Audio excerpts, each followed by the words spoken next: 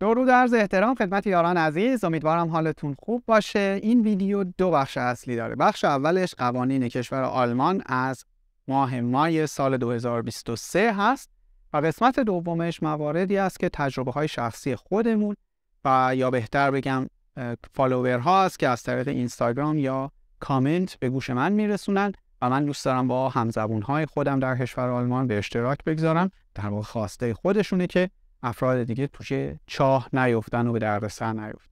قبل از اینکه بریم سراغ خبر یه خواهش ازتون دارم. صفحه اینستاگرامی من به نام یادگیری آندرلاین رو حتما دنبال کنید. چرا که اونجا ما می‌خوایم بخش وسیعی از اطلاعات روزانه و ماهانه ای که توی آلمان برای فارسی زبون ها بسیار مهم هست رو با شما به اشتراک بگذاریم. اسم صفحه اینستاگرامی اینجا گذاشتم. خیلی خوشحال میشم که اونجا هم با ما همراه بریم سراغ خبر. بخش اول همونجور گفتیم بخش قوانین کشور آلمان هست که الان خدمتتون عرض کنم قانون شماره یک. از اول ماه بلیط های 49 یورویی برای همه قابل استفاده هست. اگر نخریدید می‌تونید از دستگاه و یا شاترهای فروش بلیط در بانهوف ها تهیه کنید. خبر دوم افزایش حقوق کسانی که کار پرستاری و فلیگ به حال انجام میدن هستش. برای هیلپس ها حقوقشون میشه 13 و 90 در ساعت و برای فاخ شفته ها میشه 17 و 65 افزایش حقوقشون به این شکل هست. من نگاه کردم تفاوت آنچنان زیادی نیست. حدود 30 سنت تا 50 سنت افزایش حقوق است ولی خب توی ماه اگر بهش دقت کنی می‌بینید که یهویی ممکنه 400 500 یورو بسته به ساعت کارتون افزایش حقوق داشته حسابی موضوع افزایش حقوق این روزا داغه و مطمئن باشید برای هر شغلی که دارید کار می‌کنید افزایش حقوقی توی این سال منتظرتون هست. در همین باب می‌تونم بگم کسانی که در باو ورکه ها صحبت کار می‌کنن مثل باو هاوس و اینجور چیزا این ماه 450 یورو به حقوقشون مزد می‌خوام. یک بار بهشون پرداخت میشه حقوقشون افزایش پیدا نمی‌کنه هنوز. ولی یک 450 یورو بهشون تعلق می‌گیره که توی ماه مای به حسابشون واریز میشه. خبر بعدی این هست که در تاریخ یک 8 و 29 مای تعطیل رسمی داریم در کشور آلمان. این رو می‌تونید اینجوری ازش استفاده کنید که توی تقویم نگاه کنید ببینید چند شنبه میشه و یکی دو روز قبلش رو اگر مرخصی بگیرید با شنبه و یه شنبه می‌تونید ترکیب کنید و یک چهار پنج روز راحت تعطیل باشید که بتونید یه سفر کوتاه برید یا حسابی بیشتر استراحت کنید و خوش بگذرونید.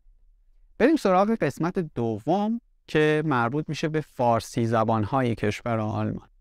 ببینید برای من در اینستاگرام خیلی یا پیام می‌ذارن می‌نویسن یا پیام صوتی می‌ذارن. اگر شما هم می‌خواین این لطف کنید لطفا پیام های صوتی کوتاه یک یا حد اکثر دو دقیقه‌ای بگذارید.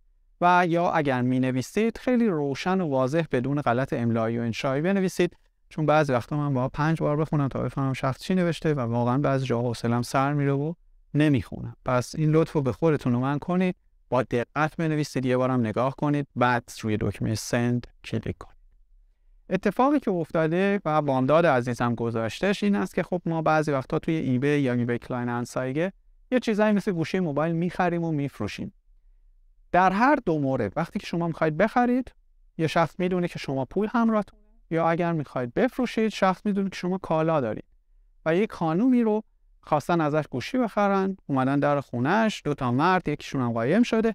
به محض که این بنده خدا اومده بیرون یه نفر از پشت بهش حمله کرده و توی سرش زده و خواسته گوشی ها رو از دستش در بیاره و فرار کنه که حالا خلاصه به خیر گذشت و این اتفاق نیفتاده. ولی خانم می‌گفتن که سرشون زخمی شده توی بیمارستان بستری شدن کارشون به پلیس و پلیس کشی کشیده.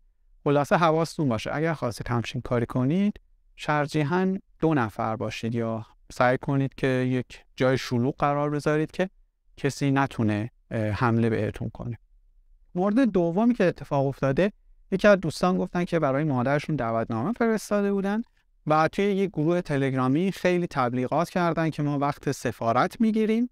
و ایشون رو حدود 400 یورو ازش پول گرفته بودن. آخرم با هزار فحش و فشکاری و اینجور چیزا تونسته بودن خلاصه پول دو نفر رو ازشون بگیرن. به این شکل که اولش گفته بودن مثلا 50 یورو ما بیشتر نمی‌گیریم و هی افزایش دادن. هی 50 یورو دیگه این مشکل خوردین باید 50 یورو دیگه بدید. و کلا این یه سیستم کلاهبرداری خیلی مشخصه. آدم وقتی که یه بار یه پولی رو میده دیگه خودش تو رو دروازه خودش گیر می‌کنه. پیش خودش میگه یا باید 20 یورو دوم یا 50 یورو دوم رو بدم تا کارم انجام بشه یا اگر الان دیگه بهش ندم همون 50 یورو هم پر میشه. به خاطر همین توجه داشته باشید که سعی کنید حالا کاراتون رو با پولی انجام ندید روال معمولی رو داشته باشه. ولی خب هر کسی و هر جای اعتماد نکنید. مخصوصا اگر کسی دیدید خیلی ازش تعریف شده یه کمی شک کنید. به خاطر اینکه خب آدم می‌تونه این روزا فیک خیلی کارا رو انجام بده. خیلی مواظب باشید. و مورد سوم این هست که حالا چندین و چند بارم در موردش صحبت کردم. یه شغلی مثل مارکلری بیمه و همینطور مشاور مالی توی کشور آلمان ماشاءالله خیلی زیاد شده.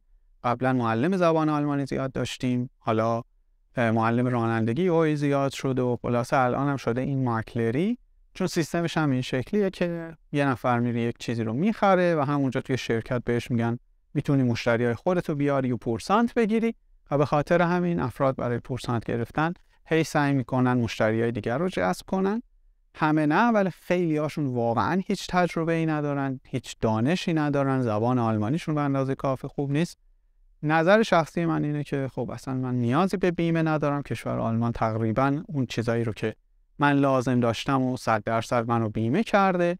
مثلا بیمه درمانی و بیمه بازنشستگی و اینجور چیزها و من راستیتش یک سنت هم به اینها حاضر نیستم پول بدم که حالا تصمیم با خودتون می‌ذارم. خلاصه ولی اگر کسی دوستی بهتون زنگ زد و گفت که من یه بیزینس جدید رو انداختم اگر میشه یه وقت ترمین می‌خوام بهت بدم که بیای تا رئیسم برات یه چیزایی رو توضیح بده شک نکنید که یه اتفاق بد منتظرتونه. ترجیحاً بهش بگید نه متشکرم وقت ندارم خیال خودتون راحت کنید. و خواهش می‌کنم به این کسایی که توی اینستاگرام و یوتیوب و اینا هی تبلیغات می‌کنن از خودشون مشاور مالی مشاور مالی مشاور مالی وام برات می‌گیرن. این کارو اون کارو برات می‌کنم اعتماد نکنید.